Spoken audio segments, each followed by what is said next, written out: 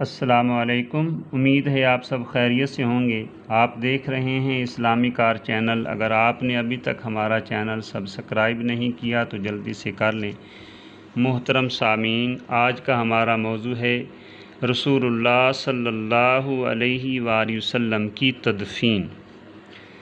हज़रत ऐशा रज़ी अल्लाह तह फरमाती हैं कि विसाल के बाद आप अलैहि वसल्लम के दफनाने में सहाबा का इख्तिलाफ़ हुआ। चुनाचे कोई मस्जिद नबी को पसंद करता था, कोई कहता था कि बकी में दफन किया जाए। किसी का ख्याल मक्का वापस ले जाने का था और किसी का ख्याल जद्द आला हज़रत इब्राहीम के मदफन पर पहुँचाने का था। हज़रत अबू बकर सिद्दीक रज़ी अल्लाह तु ने फ़रमाया कि मैंने ख़ुद हुजूर सल्लल्लाहु अलैहि वसल्लम से एक बात सुनी है कि जो मुझे खूब याद है। वो ये है कि अम्बिया वसलाम का विसाल उसी जगह होता है जहाँ उनका दफन होना पसंदीदा होता है। लिहाजा आप सल्लल्लाहु अलैहि वसल्लम को आपके विसाल ही की जगह दफन करना चाहिए। अब इस बारे में राय मुख्तलफ़ हुई कि कब्र कैसी खोदी जाए, महाजरीन की राय थी कि शक की जाए, जो कि मक्का का रिवाज था और अनसार अपने दस्तूर के मुवाफिक लाहद यानी बगली कब्र की राय देते थे।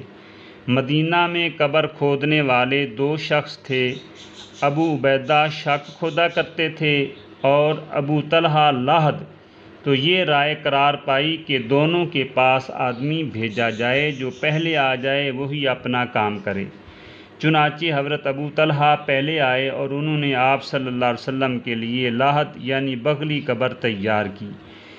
उसके बाद आप सल्लल्लाहु अलैहि वसल्लम की कब्र में तो कब्र में नौ कच्ची ईंटें खड़ी करके रखी गईं और आपके आज़ाद करदा ग़ुलाम शकरान ने एक नजरान का बना हुआ खेस आपकी कब्र मुबारक में बिछा दिया, मगर ईंटें बिछाने के बाद उसको निकाल लिया गया। उसके बाद आप सल्लल्लाहु अलैहि वसल्लम की वसीयत के मुताबिक आपके अहल बैत ने आपको कब्र में उतारा जिनमें चार हजरात थे, हज़रत अब्बास, हज़रत अली, हज़रत अब्बास के दो साहबजादे, हज़रत कुसम और हज़रत फ़ज़ल रिजवानल्लाम अजमाइन। और कब्र से सब के बाद हज़रत कुसम बिन अब्बास निकले।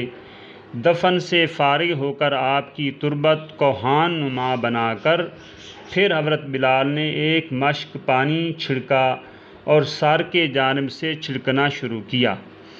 मैत के नीचे कब्र में चादर या चटाई बिछाना मकरू है। अलामा शामी फरमाते हैं कि की वजह यह है कि ये फजूल खर्ची है और बिला ज़रूरत माल को तलफ़ बर्बाद करना है, इसलिए मकरू तहरीमी है।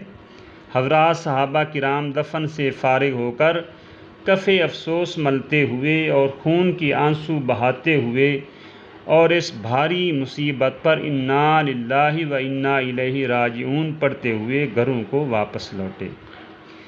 दफन के बाद हज़रत फ़ातिमा रज़ी अल्लाह तहा ने हज़रत अनस रज़ी अल्लाह से कहा ए अनस तुम लोगों के दिलों ने इसको कैसे गवारा कर लिया कि नबी पर मिट्टी डालो? हज़रत अनस रज़ी अल्लाह ने ज़बान से बोल कर तो कुछ ना कहा, मगर ज़बान हाल से है, फरमा रहे थे कि हम भी इसे पसंद नहीं करते लेकिन आप सल्लल्लाहु अलैहि वसल्लम के हुक्म की वजह से मजबूर थे। यक बक, यक बयक तेरा बिछड़ना गर्च दिल पर है गिरां। क्या ताज्जुब है कि हूँ बेसाख्ता आँसू रवां। तेरी जुदाई है यकीनन बायस रंजो अलम है मगर हुक्म शरीयत पर सरे तस्लीम खम।